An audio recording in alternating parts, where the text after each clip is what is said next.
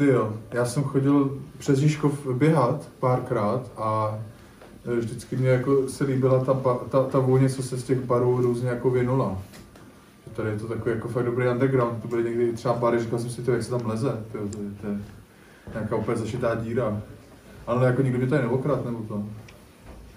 Za mě to jsou asi nedělní džemy v Žižko v Šišce, kde hrálo třeba 8 lidí dohromady a všichni něco jiného, a to bylo fakt šílený, takže za mě to je asi nejšílenější tohle. no.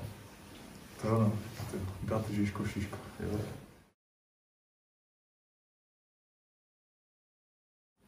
Kopcovatý kopce?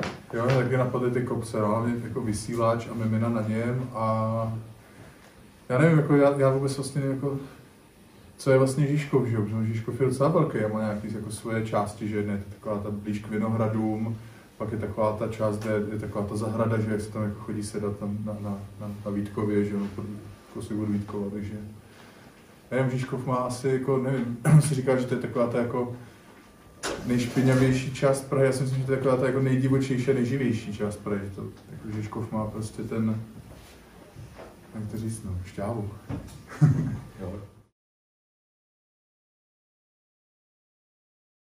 Asi žádný, všechno je pořád stejný, mi přijde.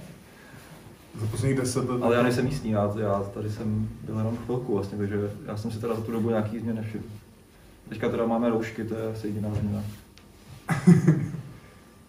No, jako já bych taky řekl, že já nevím, asi nejsem jako schopen říct, nebo jako by nepozoruju, nedokážu to změnu pozorovat asi, no, jako. Já jsem taky v Praze vlastně pár let, takže nechodím tam každý den na, na Žižkov. Mně to přijde jako, že Žižkov je prostě furt ten stejný fenomén. No, Žižkov je prostě fenomén, no.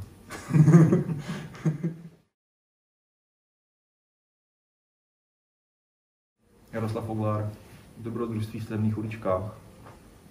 První kniha, kterou jsem přečetl celou. Takže za mě to asi. No, to já bych klidně spíš řekl toho Haška, jako. To je ten, co napsal Švejka, že jo? Jo. No, no. Tak ten, ten mi jako přijde takový jako dobrý výpitka, prostě, co, co místo, místo peněz dával, platil, platil těma svýma krátkýma historkama, užil si život a, a pak až když uh, vlastně umřel, tak, tak někdo choď, po těch hospodách chodil a, a odkupoval ty, ty, ty díla zpátky, nebo ty dílka, aby se to něco poskládal. To říkám, to, to je dobrý, to prostě, odžít si ten život a ostatní je pak jako chodí za ním a sbírají to. To, to, je- to, je takový, to se mi líbí. To bys, to bys taky chtěl, co? To bych taky chtěl, no, kdybych měl tu drzost. Ok, skvělý.